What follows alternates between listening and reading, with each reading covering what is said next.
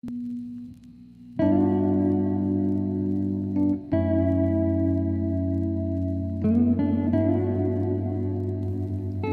tuned into Tobi Talks, episode 22 From Bedside to Director of Nursing. So, when I first started my nursing career, I literally had to write goals of what I wanted to be, you know, what I saw my career becoming in the future. And I remember some of the top things were like director of nursing, COO, like big leadership positions. And I had to research on what do I have to do to get to those positions? Like, how do I need to start grooming myself now to get to where I want to be in the future? And I remember looking up job requirements for like a director of nursing. And what shook me was when I saw like 15 years of experience in management, 20 years of the, I'm like, whoa, wait a minute. Like, all my life, I'm just gonna be a nurse on the floor before I can get into a management role? And I was a little taken back by that. And I was like, well, you know what? I don't know if I see myself in 15 years becoming a director of nursing. I could see it in five or 10 years. But, you know, I never really saw anyone in that position to say that that's something I can do. You know, it's kind of hard when you don't see anyone that looks like you or maybe in your same age range that is going for that goal or is in that position already. But Lord and Lord and Lord, today's episode had me shook. If you recall back in the summertime, I did a wonderful episode with Sharon, and she went from bedside to nursing manager. Well, we caught up, and she has gone from nursing manager to director of nursing. And this girl is under 30, y'all. It blew my mind. I was like, shut up, tell me more. What is the role like now that you're in this new position? And I mean, what made this episode so touching to me is because she would also immigrated from another country. So she talks about the challenges she went through immigrating into the US system. Also, you know, fighting through some of those barriers like language and and different different ways of communicating. Let's put it that way. But you know what? I'm already getting really excited because this is a really dope episode. So let me go ahead and hop into this. So let's go ahead and hop into this. Girl, since the last time we talked, you went from manager to now chief of nursing. Like, oh my gosh, tell me how you got there. That is amazing. Yeah, I know. Um, so it's you know, I've been a nurse manager for about two years and I was thinking about the next step, right? Like, what more can I do? And I thought about, you know, going quality. Um, but I talked to my boss and some part of my regional team, and they kind of felt like um, I sticking with the nursing and going up that way uh, would be better for me. So I applied for the position. It was, you know, I felt like as a nurse manager, I did similar things as the CNO, and I got to sitting on a couple of things like joint commission, um, coming through, and other responsibilities, especially filling in for her when um, she's out. And so I kind of felt like I was somewhat ready for the next level, even though in all honesty, you're never ready for the next level. But mm-hmm. at some point, you mm-hmm. just have to pull the trigger and jump into it. So um, when the opportunity presented itself, um, I was like, you know what, this this is an okay time, right? It's not. I don't feel completely prepared or completely ready, but it's possible. And you know, I read up on the hospital, read up on the team there. When I interviewed with them, I made sure I asked a lot of questions to be sure I was walking into a supportive environment because I would need that for me to be able to grow. And I definitely expressed that to them, like during my interview when they asked about, you know, okay, what are your what's your plan for the next three years and the next five years? And I very much expressed at every point, you know, support and growth is definitely my plan because I also want to be able to support and grow people and show people the example that is possible. So that's how it that's how it started and that's how I got here. Wow. Like first of all, I just want to table back a little bit because I'm in just in I'm in awe of you because you are like out there hitting the ground running and this sounds like it's impossible. You know, when we like we discussed before, when you're in an environment where all you see are, you know, older um, nurses with like years and years mm-hmm. and years of experience, and here you in here you are hitting the ground running. You did charge, you moved up the ladder, you did uh, management, and now you are you know chief operating of uh, nursing for your for your hospital or your clinic. And to me, that's just amazing. Yeah, really you're breaking through those stereotypes and those traditional rigid um let's just say rigid ways and you're showing them it's not about how extensive extensively long you've been in the field but what you're doing in that field you know what i mean? Was this um, was this opportunity an opportunity in-house? Like you moved up the chain of ladder based off of your connections or based off of what you've been doing in this one specific area or this is a whole nother hospital? Talk to me about how you climbed up. Absolutely. So no, it is in house, and and referring back to our first podcast, you know, about me being in the nurse manager role um, you certainly want to move up in house because they are the people that have spent enough time with you to understand your potential and are willing to take that risk, especially again, being that underdog that doesn't have a wealth of, of years of experience, right? Even though you have the schooling, which is good, those years of experience always speak something of you. So being that underdog, a lot of people are skeptical or apprehensive towards going with you. However, in house, you have given you have been given the opportunity to prove yourself, and this is something that I've told um, like some of my house supervisors and, and another nurse manager that's looking to grow is um, you know, you hear these things about dress for the job that you want to have, right? The job exactly. you're looking for, but also behave in that manner. Yes. So if you're one year into your job right now, like I was one year into a nurse manager position, oh, my goal is to learn everything about that so I can excel in it. However, once I'm getting to a, after that year, my goal needs to be, I need to start showing that I'm capable of the next level, right? Still keep up your job. You've, you've developed some expertise in it. Still keep up what you're doing and perform there. But start showing a little bit more initiative. Start showing more by showing them that you're prepared. And I, I'm really not trying to make anything of it, but I I had so many people that said, "Oh, this was well deserved. It's about time you moved up. I'm I'm not surprised to see you in this position."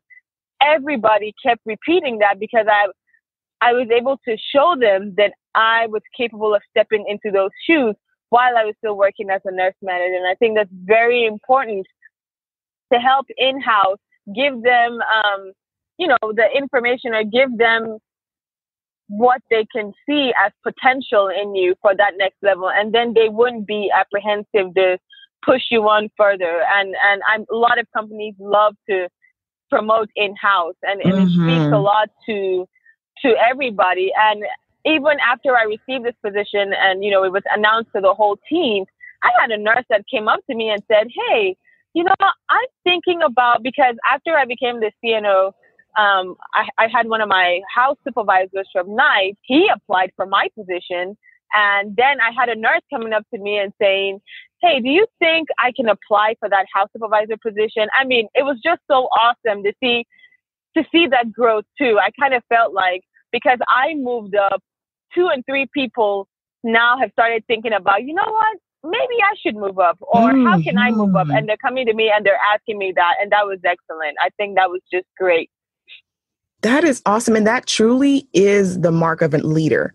A lot of people are actually talking to a very good friend of mine, um, and we were discussing about, you know, the the um, steps of what a leader is. And a lot of people think a leader is just a person with a book of knowledge that just knows all the information you go to them. And I said, no, a leader is a person that when you come to, they give you the knowledge, they equip you to feel prepared. So when you leave them, you feel confident in decisions that you're going to make. You also are growing. A leader is not Absolutely. just to lead people, but grow people so they can also be leaders. So I love that you highlight Absolutely. that because that is exactly what you're doing. Now you have motivated people. And I remember from our last episode, you were you were talking about some people that were kind of stagnant and been there for 15, 20 years and never thought about, you know, yeah. moving up. And now look, you've you've been in there, hit mm-hmm. the ground running in less than like less than four or five years, you went from manager to CNO.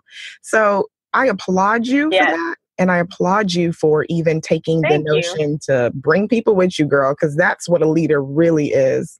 Oh, absolutely. I'm constantly talking to people about that. All my LVNs, I'm telling them, hey, when are you getting back in school? Because you never want an opportunity to present itself and you are not where you need to be to take that opportunity. You know, you don't have yes. the credentials. You don't have what, you know, you, you haven't developed yourself enough. So that's why I tell people make sure you're developing your, developing yourself for the next level because when that opportunity presents itself, you need to be ready to jump on it. And people don't have to be scared, and you don't have to be scared of, oh, I haven't really done much. No, but you have. So you're ready for it. Absolutely, girl. I agree with you. And that's why you were ready to take on this next new role. So, as we talk about this, what does a chief of nursing operations actually do? Like, give me a good rundown of, of what a day in a life is for you now in this new role.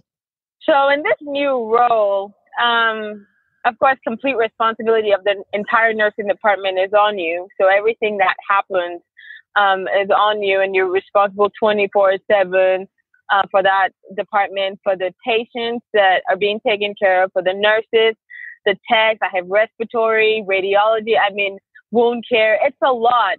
But um, a big difference I've seen for me is is having a seat at the big table, right? So sitting with the CEO and all the other directors, and even with the regional team, having a lot of meetings every day. Um, to understand what's going on in different aspects of the hospital, but also in your department and the initiatives and the goals for the hospital. So being privy to that uh, is definitely a huge change that has come about it. And so most of my day, I'm in um, I'm in several meetings from operations all the way um, through a FIM class, which is a which is special to rehab. Um, and definitely, I have to spend time with my nursing leadership also because I need to concentrate on my nursing staff and the quality of care we're providing for that day. So I'm overseeing all of that. It's a lot of delegation because a lot comes to you um, from every from every part, from every mm. aspect. You know, HR needs collaboration with the nursing department, so they come to you to figure out a way to collaborate together the therapy department needs collaboration with the nursing department, and they're coming to you. Um, health information, medical services, the doctors for having problems with labs. You have to um, collaborate with so many disciplinary um, parts of the hospital for your team and take it to them as well as manage everything that's going on that day. So a huge chunk of it is delegation and following up and following through on different things.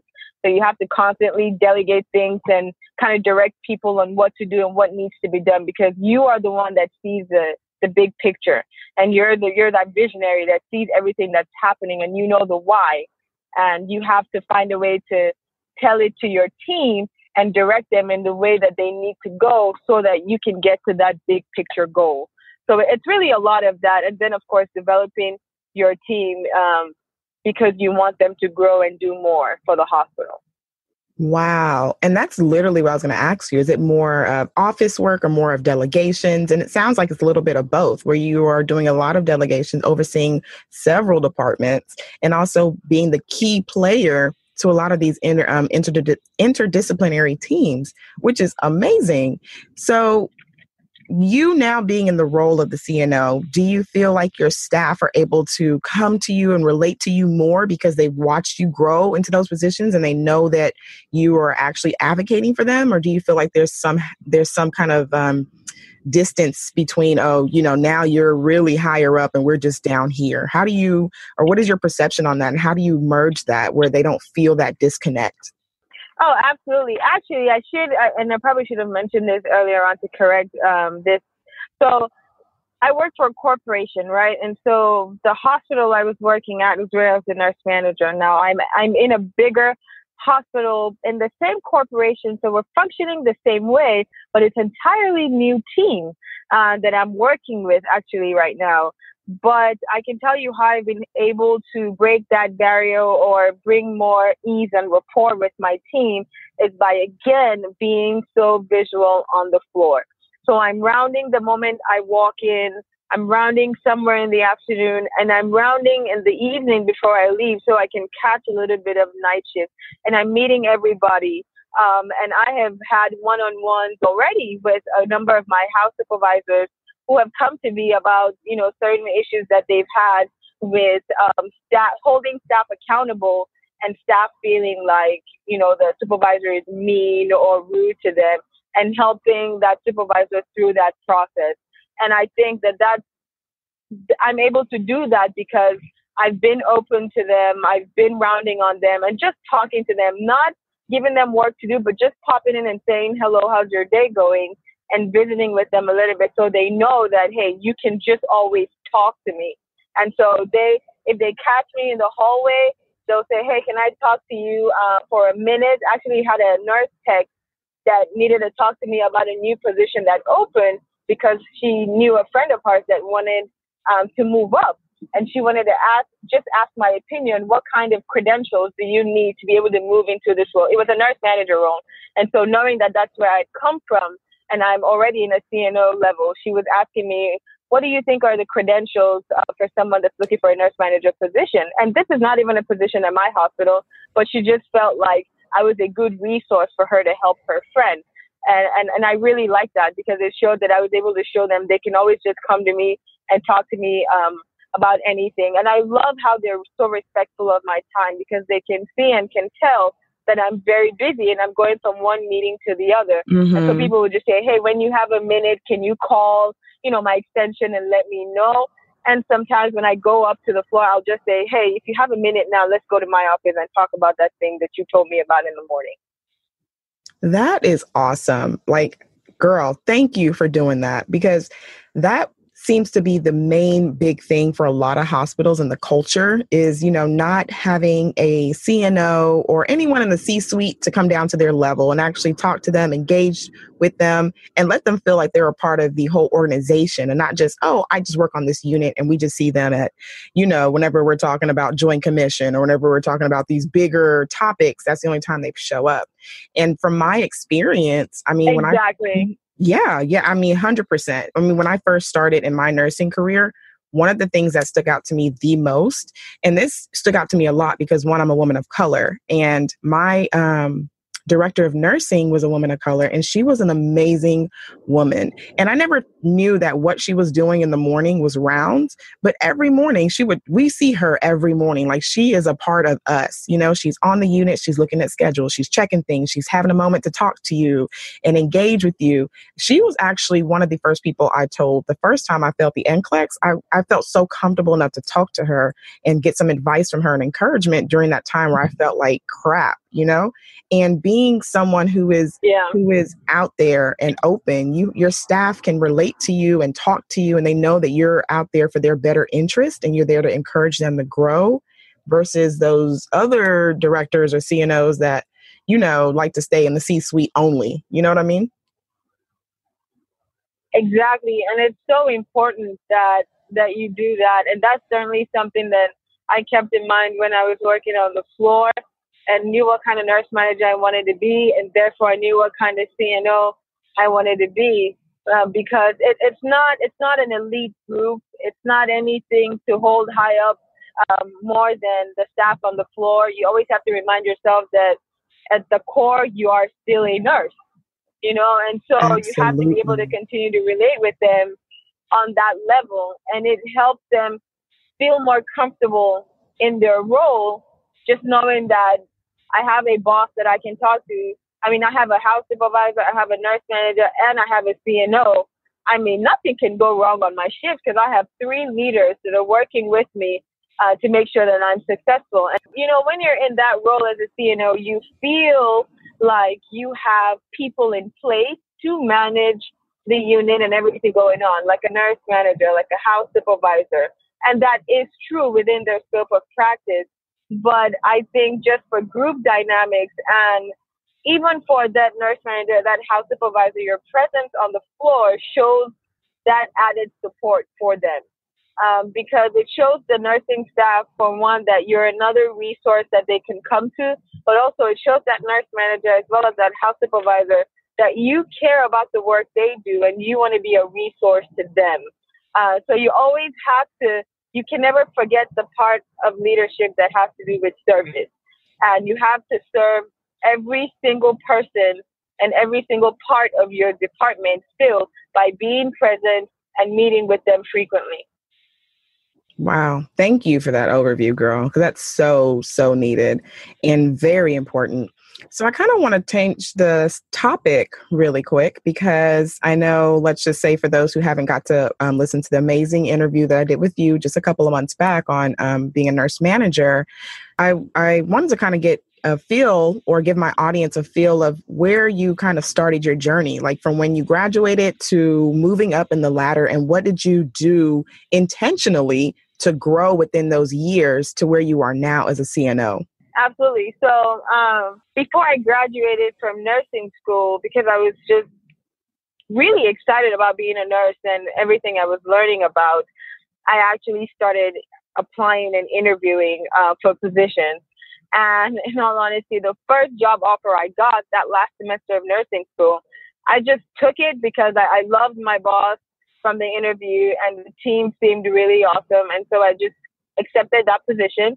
And as soon as I graduated, I think maybe a week or two later, I graduated in December after Christmas, I packed up and I left and I started working on the floor. So I started working as a graduate nurse because I hadn't taken my NCLEX yet. And so I got that graduate license uh, from the Board of Nursing and I started working. Um, I was a little bit apprehensive because I was, you know, you always want to feel like, well, what if I don't pass my test? And then what happens? But that's another great thing about a supportive boss. You know, when she hired me, she felt like I had the potential uh, to really provide quality care to her patients. And so she just encouraged me that, you know, as long as I study and whatever time I needed to take off to make sure I was prepared for the test when it's coming around, she was willing to do that for me. And so I was more confident going in. Started in the graduate nurse um, you know, I took like a week or so off and studied for my boards, and I took that and I passed it, which was awesome. And started out as a nurse on a med surg unit. Um, however, I wanted to really learn so much more and grow so more, uh, so much more that I worked literally almost every floor um, in the hospital. I worked uh, neuro, which was nine central. Um, I worked in a specialized education unit for Texas Tech which was the seventh floor right below mine. I worked post-op, pre-op, um, ortho. I worked rehab. I worked oncology. I worked cardiac.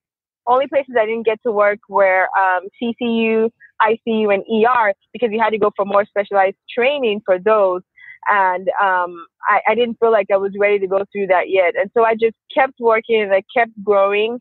I kept reading every day. I would read progress notes written by doctors, and I would look at labs and try to paint a picture of what's going on with the patient by myself. Um, and then eventually I enrolled to start my master's um, because of a couple of reasons. Uh, for one, I was involved in several committees at work, and I felt like um, I wanted to be part of the people that make changes for the nursing department. Mm. And so I, I knew I needed to move up um, in my position to be able to do that. Uh, my boss encouraged me to take up a charge nurse position, which I did. Um, but I realized that as a charge nurse, you are influential to your nurses on the floor. However, you're not, you're an implementer, right? You're the one that implements, but not necessarily um, creates the, um, the ideas or the processes that you feel like need to be in place. And so at that point also, and I think uh, we covered this as well in um, the last podcast, was I, being an international student, I also had to continue to remain legal in, in the United States. And so that was a great opportunity for me to do both things. So by re-enrolling back to get my master's, I was able to stay legal um, in the United States. And then also I was getting that knowledge or that information and that experience that I needed to move up to the next level so I could be a game changer for the nursing department. And so it worked out perfectly that way. I, I started my master's and I, I finished that.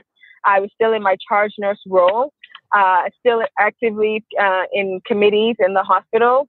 And once I was done, in about six months or so, it took me a while because I was moving from that town elsewhere you know, to find a job and a good place that I, I felt um, comfortable with and I would settle in.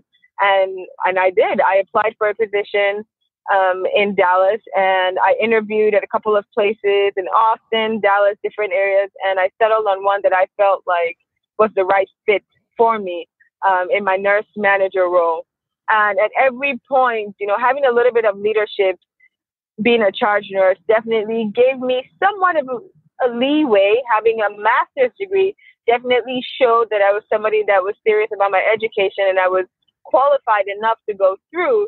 But and, and getting me into the interview. And in the interview with behavioral questions and things like that, I was able to show that I've handled situations um, that is close to what a nurse manager would do and that I have the potential to really function as a nurse manager.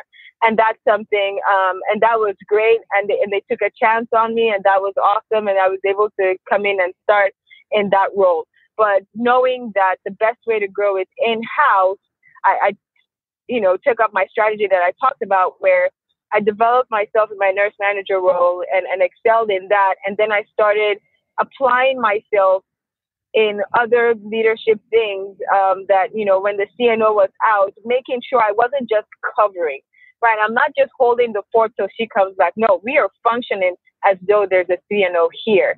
And so putting myself in those, in those meetings, speaking up in those meetings, um, showing what the nursing department is doing, coming up with processes, working with my boss and other disciplines on developing processes for the nursing department, I was able to show that I had the potential to run the department myself.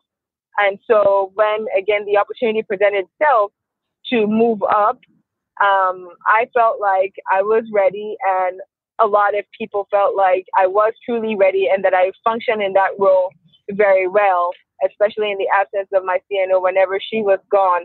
And so I was able to jump on it. And being in house, of course, they love growth as well. And they did not have a problem moving forward with me. Wow. So what is the time frame between when you graduated to where you are now? What's the years in between this process? Um, so I graduated December of 2012. So I would say six years. Six years. See, that's what I'm talking about. That's up six years now. Go getter, yeah. girl. You you were legit real. Wow. And of course, you know we yeah. don't like to drop actual age, but I will say you were under 30 and you were doing the dang thing. Okay. So I am just I'm impressed not yeah. only because of your um, your persistence but really your growth and you actually you know showing that there is no boundaries. You know the sky is not the limit. You can go beyond that and there's no um, there's nothing holding you back whether it's years and years of having to be at the bedside or whatever it is you knew what your goal was and you went for it. And and i'm glad that you're on this platform sharing that. So a lot of other millennials and generations that are coming up can hear this and know that you can strive for what you want. You know what i mean Absolutely. And something, you know, I, I, will tell you something that my current CEO said to me that was, uh, you know, I really appreciated that. And he said, you know, being being an underdog, number one, because of my years of experience, uh, not having a lot of years of experience, is something that encouraged him to go with me because I was an underdog, but I was so passionate that he knew I was going to be that loyal person that would work hard to grow the department and to prove myself. And that is accurate. But something else he also said was, hey, I was interviewing, you know, somebody that had 20 years of experience as well. And to me, I feel like you can have 20 years of experience or you can have one year of experience for doing it 20 times. Mm, right? Wow. So, so exactly and and that was so instrumental because it's not about you know how much the years exactly it's the quality of the years and yes. how much you're able to accomplish yes. and do so you have somebody that in two years has grown a department from this level to that level has changed the morale of the department developed a number of employees um, to a certain level versus someone that has just held the fort for exactly, 20 years compared exactly. to somebody who has accomplished so much in two years. So once you you get an opportunity to show what you have done, and that is so important, then those years start to fall off because it's about the worth and the quality of the work that you do versus just the time frame of holding the fort down.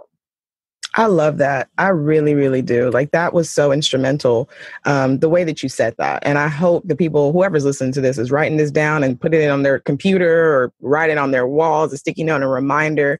You know, it's about the um, the quality, not necessarily the quantity. You know, you can have, like you said, twenty years of doing just holding down the fort compared to one year of changing the fort, rebuilding and putting a duplex in there and, and, and a townhouse. And, you know, you're doing so much more with, um, with less time. Right. And that's what that's what we're looking for in healthcare. Healthcare is changing so much. They're not looking for anyone to hold down the fort anymore. We're looking for people who are adding to the innovations and the changes in healthcare, not just keeping it um, streamlined. That's not that's not where we're going anymore. So I'm glad that you said that.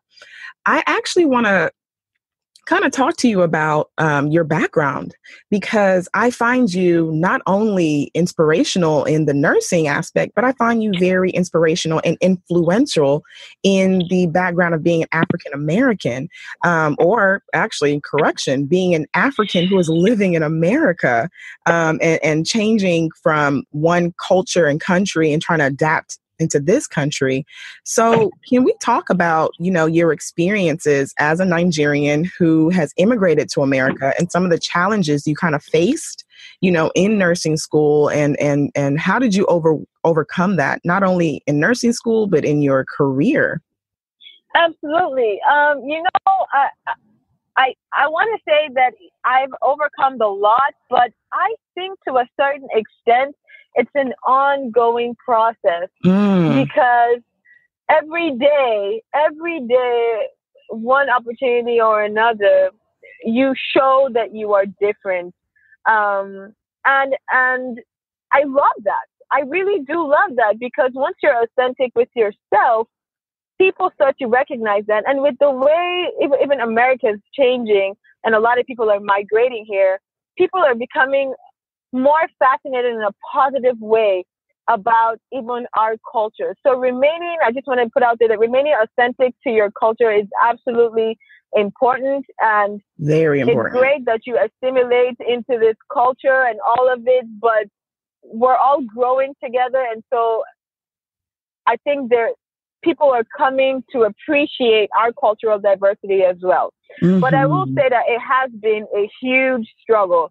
I mean, I moved here when I was 17 years old, and all I've known was Nigeria. I this was a complete culture shock for me in in several ways. Um, you know, as, as basic as calling people by their first name, right? Um, because that's what they prefer. Yes. Oh to my the type of food that you eat, to how people approach you, to to to your accent, how people understand you, and when you speak, to my English class, I was writing in in and everything I spelled was the British way. It wasn't the American way. You know, I had that mm. extra U in color and favor and all of that. So in, in every aspect and in every step, there's there's a cultural difference, but you have to be open to accept the culture that you're in and move forward with that and push through with that. I know that I've talked to so many people um, about oh the my approach uh, you know the way i'm speaking to you is is because of in my culture that's okay I'll, I'll give you a perfect example when i was a charge nurse i had this um, patient family member that was complaining about something a nurse did well i'm being being a nigerian i think to a certain level we can be really loud mm-hmm. and so when mm-hmm. she told me about what happened you know i was upset and so I was, la- when I was talking to her about it, I was passionately expressing myself, but I was yes. loud because I was yes. passionate. But she felt like I was upset with her. And she stopped me and said, okay, like you don't have to be upset with me about it. And I felt very bad about that. I was like, oh no, I'm sorry. I wasn't trying, I'm, I'm not upset with you. I'm actually agreeing with you. But she's like, well, you're just really coming at me so strong and loud. And I, I think for a lot of you know, Africans, Nigerians from other cultures, you have, you definitely have experiences like this where somebody misinterprets you. But the best way to come out of that is to dig deep inside and say, you know what? Yes, this is how I am as a Nigerian, but right now I am a professional. Mm. And in this culture that I live in and I work in and I have my professional life in, it is important that I speak to them at a certain level. It doesn't change who I am. It doesn't change the fact that I'm loud. When I'm amongst Nigerians, I'm a very loud person. We all loud, but I understand girl. that mm, exactly. But I understand that to be able to pass on that message in for them to understand me, I need to adopt that culture of how I speak with them just because what's most important is the message I'm passing across. It doesn't have to change me. And I, mean, several different things, several, I, am not even sure where I will start to express um, the culture shock, the culture change, and, and different. You just have to modify yourself, but keep true to who you are to make sure that at every point your message is being passed across and not to take anything personal. Girl, I'm just it's funny because you're saying this as a um as a immigrant from Nigeria and then I am an American born Nigerian. And the same things that you kind of faced were kind of the same things I faced in a different I guess in a different way. Like um especially calling someone by their first name was not going to happen. Like the way our parents raised us, no, you call someone by their last name or as auntie, uncle, you got to greet them a certain way. And I kid you not, I know this might sound completely funny and weird, but my first preceptor, who is now like my lifetime best friend, um, she was my first pre- preceptor and she was Caucasian and I could not call her by her first name. It was the most because di- she's older. Anyone who's o- in our culture, anyone who's older than you, it's like a disrespect to call them by their first name. And I could not call her by her first name. Mm-hmm. So I would joke around, and be like, "I'm just gonna call you Auntie Kim," and she was like, "Okay," like she didn't care. and I'm like, getting like at least for four months straight, I'll be calling her, "Hey, Auntie Kim, I need you to help me with this." and she just, she didn't understand but i was trying to explain to her like you know in my culture i just it's hard for me and i had to take my culture and what i've been taught i had to separate that from my um, practice mm-hmm. you know mm-hmm. this is my profession i need to be professional and in this realm you address people by their names you know whether whatever you're taught you yeah. It's almost like you're fighting within yourself, like, oh, this feels really weird. I feel like my mom gonna come out of nowhere and slap me real quick if I don't call her by her by her uh, name wrong. So that I truly understood.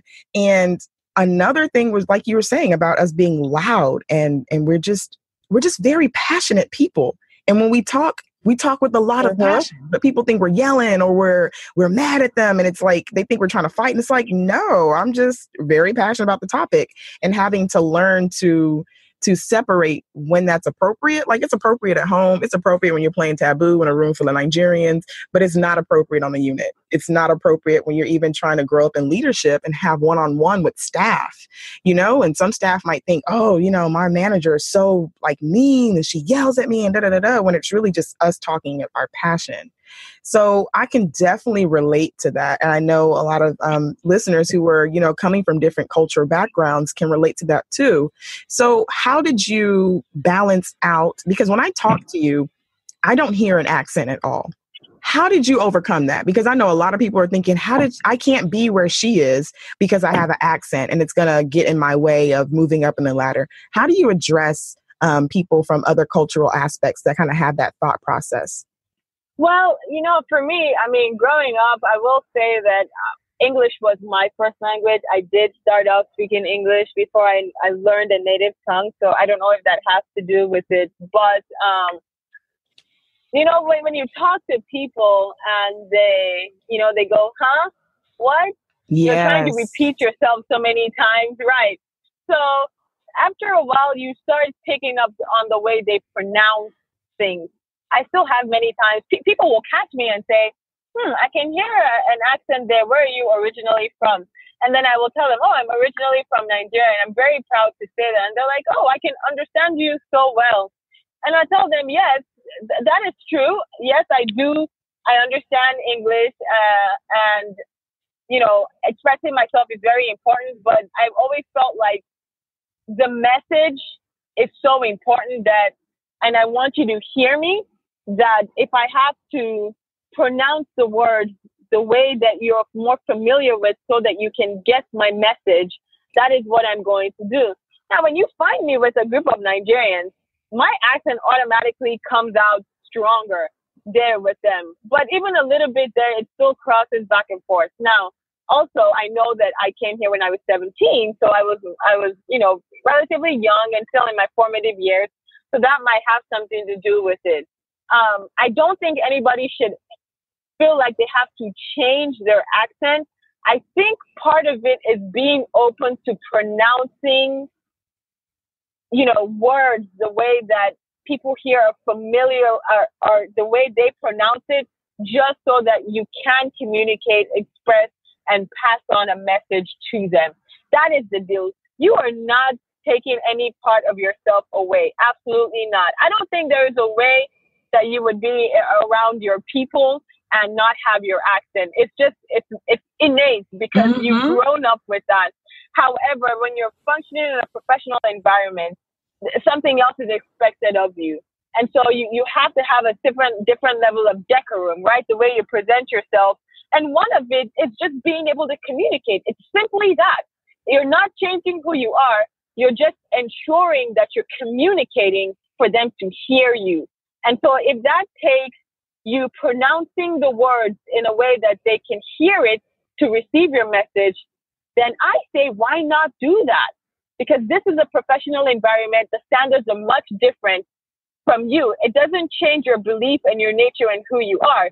All you're doing is modifying your communication skills, which is something that everybody does in different ways. It just seems that yours would be with pronunciation, but with other people, it could be their approach as their level of communication.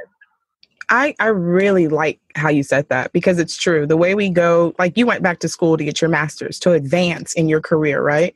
The uh, I would go to tons of leadership yeah. conferences or, or leadership engagements to advance in my career. It I it's what you invest in yourself that's what's going to be able to to flourish out of you. So the way you're saying that you know learn take some classes to learn on pronunciation or, or communication classes. Everyone's taking that and that's something that's needed. Mm-hmm um, I would encourage that because I know many, many friends of mine that that sometimes is a, a, stumbling block for them is just the way they communicate, and it gets really frustrating. You know, I I'm married to my husband who's from Nigeria, and he vents to me a lot the frustration of having to repeat yourself several times, or even the way. Right even hearing someone and not knowing what they're saying because you never really heard it in that in that kind of way you know when you learn these words from another country your dialect is how you pronounce it now, when you go to another country and they're pronouncing that same mm-hmm. word, you have no idea what they're saying, even though it's the same word, because they're not pronouncing in the dialect that you pronounced it in.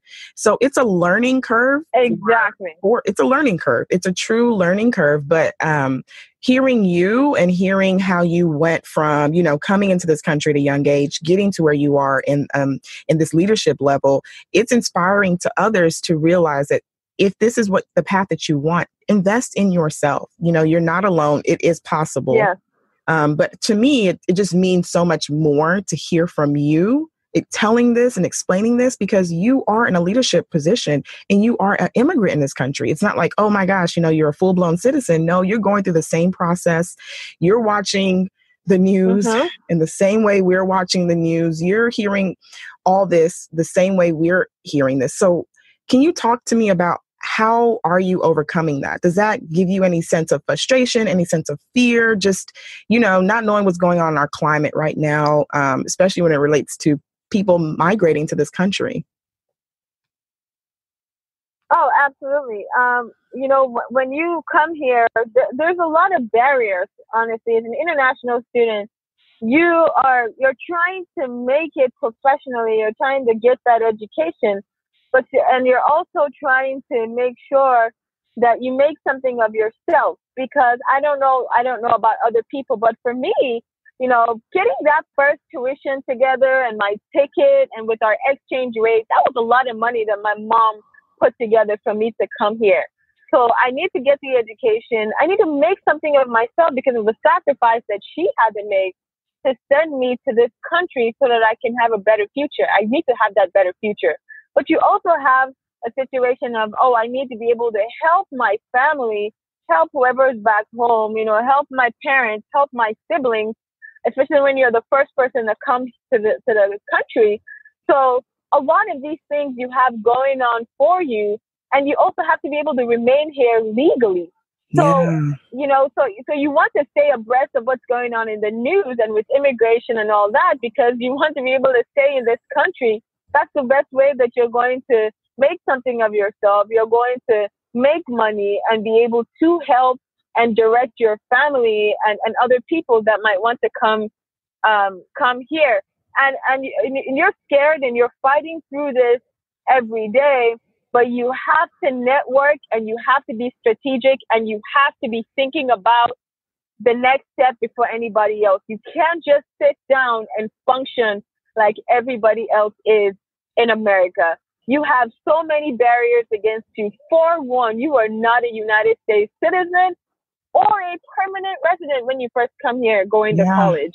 Yeah. So you cannot just sit down and go through life like they are. No, you have to be three times smarter. You have to be thinking about the next three levels, the next three steps. Okay, what can I do here? How can I coordinate myself? And you have to learn the culture here.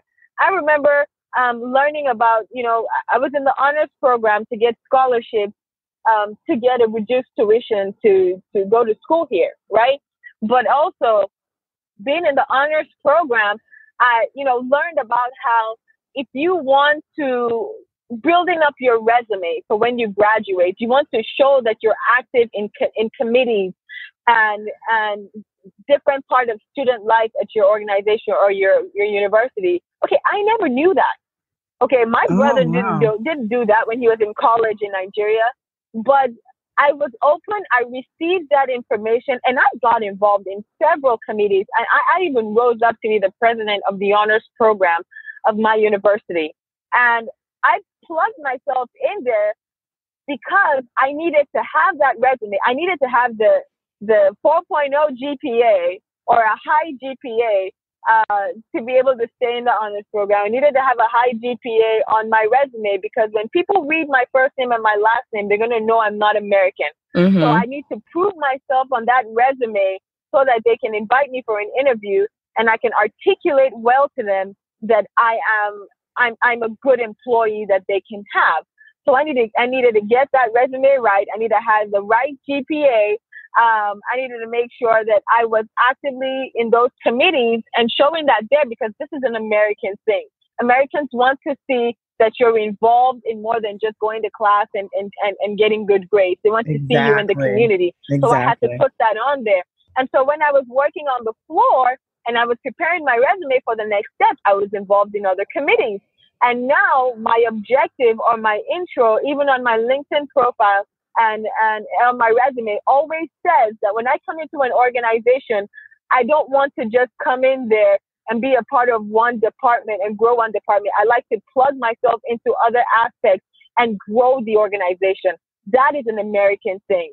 Wow. That's not what we know of growing up back home. And that's something you have to learn and be open to learn and hear and receive from them, from people here to be able to progress in America. Because when, when in Rome, you want to act like the Romans. Hello. That's what's up. I just, girl, everything you said was just true gems. And I hope that it's being received by whoever is listening to this because it's not easy being an immigrant into this country, being able to um, adapt to the culture. Just like you said, I mean, especially for me, you know, I'm married to an immigrant husband. We I'm plugged into everything that happens because we don't know what tomorrow is going to be, and we have to. Oh my gosh, we literally have to do three times harder. You know, we have to work three times harder. We have yeah. to be on our toes way before. I mean, we're thinking about the next step before we even finish the current step we're in. We're two steps ahead. And I mean, that's really the life that you have to live when you have migrated into a country where you're not fully a citizen. So, what advice would you give? Um, other immigrants who are probably listening to this, who are trying to, you know, um, move into the career of nursing, but also move up. And you know, some of them are kind of I know I've heard a lot that people are kind of fearful of moving up into position because they're not sure if they're going to be here tomorrow in this country. They're not sure if they're going to be removed, you know, they're not sure if they're going to get their green card or get to be a permanent resident. So what advice would you give to someone who is coming from a different cultural background and migrated to the United States of America, but they want to climb up in their career but are kind of hesitant due to maybe language barriers or due to the barrier of not being fully in, um, fully adapted to this country, what kind of advice could you give them? Oh, absolutely. Um, you certainly want to. Oh, you know, and that and that's the risk with it. You can you have to live your life, especially when you're in America, being an international person. You want to make the most of it. I know that that's why we all come here to make the most of it. So the fear of what's going to happen, you know, from a, a legal standpoint with immigration is, is definitely true and real, but you cannot let that stop you. But which means that you have to put in the work to make sure you're going, you've got what, what it needs, what, what it takes, and you're secured and you're legal here. So you, that's why, and that's why I talk about, you can't just function like every other college student and, and just, oh, I'm just going to, you know, go to class and chill and go hang out for this party and go there. No, you're working twice as hard. Okay, you're working on your grades, you're working on your immigration status, you're networking because there are a lot of immigrants, not just Nigeria, that have come here and they have found a way to stay here and they've made it through. You need to network and be smart. You need to be smarter than everybody else. Network as soon as possible, not when you're a junior or you're a senior ready to graduate. You need to start networking in freshman year so that by the time you're graduating in, in your senior year, you already know your plans for the next two years and how you're going to stay in this country legally. And do I know multiple people that have had to go for different degrees just to stay here legally? Absolutely. I have yes. people that have two different degrees yeah. just because they needed a way to stay here so that they could work and make something of themselves.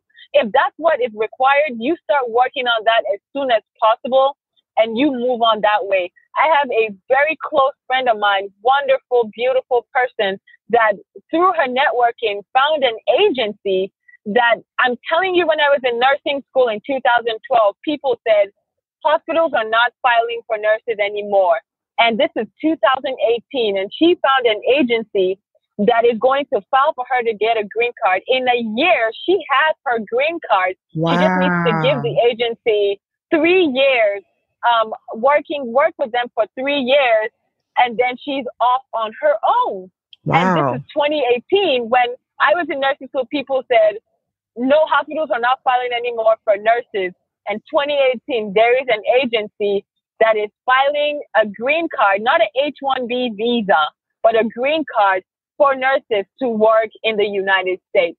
But if you don't network and you don't talk to people and you don't get plugged in, you don't hear things like this. Mm-hmm. And so you, you get one perspective from one person, but that's why you continue to network, you continue to get involved in different areas, and somebody can show you a different way but you do not wait until you're in your senior year or in your sophomore year or in your you know junior year to say okay maybe i should start. The moment you you set foot in this country you need to know that you are working three times harder and you have to be three times smarter to be where you need to be. And you realize at the point just like me when you get there you've grown so much and made so much of yourself you're actually excelling uh, than most people that are actually native born here. But that's because you invested that time to be three times smarter and work three times harder to get to where you need to be the right way because it is so, it is very possible. Wow. I'm just, whew, Sharon, you're giving me like goosebumps because I'm just so, I applaud you so much because I know sometimes in our culture, we have the tendency to be very private um, and very like, yeah. oh, you don't want to tell someone what you're doing, you know, whether it's culturally or spiritually or whatever the the lingo is that you know you don't want to let somebody know what you're doing or what you've gone through. You want to just live this secret life right. that everything is great and then just post pictures and go to events like your life is perfect. But there are challenges. So thank you for there not are. being a part of that mentality. Thank you for being transparent. Thank you for talking about these things because so many people are going through it, but no one wants to talk about it. So no one knows, you know, no one knows, period. Like no one knows what to do. But you being so open to your your your struggles and your success is so pivotal to those who are listening to this episode who are probably going through that same season. So I want to thank you from the bottom of my heart and from on the behalf of my listeners for sharing this, sharing from how you went from a new grad to a CNO, sharing from how you came into this country 17 and how you had to stay and be legal in this country and how you're doing it and climbing up in the ladder of leadership. It's amazing. So I thank you so much for your time and and I just want to honor you with that. Thank you so much. Not a problem. And you know, when you start talking about it, there, there's so much. You know, I don't even know if if the time frame that we have for a podcast show can cover the wealth of it. But that's why that networking and talking through situations is very important you know, and, and I'm always open to, to tell people, I can tell them the honest truth about, you know, how I did any specific thing, what struggles I've had, you know, at one point where, you know, I felt a part of be it racism or be the fact that I'm from Africa or be the fact that I'm, I'm young or be the fact that I'm a woman. I faced that in, in, in different ways, even professionally, um, yeah, yeah. as well as, as personally and how to overcome all of that, you know, and, and network with other people too, um, just so that you can get that information from them and you can go through it because we all go through things. And, and you're right. Nigerians, we like to be private and, and I'm a relatively private person, but if I'm going to help somebody and I'm going to show somebody the way based on my experience then why not? Especially because I'm not a failure. And so I will, I will show you places and how I have failed at different things, but I've come through that to be who I am now. So exactly. I, Sharon Abami, am not a failure. So I have every confidence to share with you all the things I failed in because I am not a failure and I am excelling right now. And I'm going to fail in some more things, but I'm going to excel at so much more that even when I'm still there, I will share with some of the failures that I'm yet to go through now because I, as a person, I'm not a failure. We're all in this world. We're all here to help each other out. And if I'm going to tell you my story and you feel like, oh, that's, that's bad. That's a failure. Well, that's you and your interpretation. Has nothing to do with me. Personally, I'm not a failure.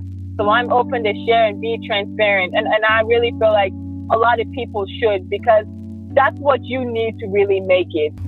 I hope you've enjoyed today's podcast episode. There were so many gems dropped. But let's be honest who got time to replay, pause, and write down all that information shared? Shoo, I know I don't. But don't worry, I got you. Download Tobi Talks app on Google Play for nursing resources, definitions, and so much more that were mentioned on today's episode. Tobi Talk app features show notes that timelines the conversation and lets you click directly to the resource or definition and it even lets you bookmark the gem for later.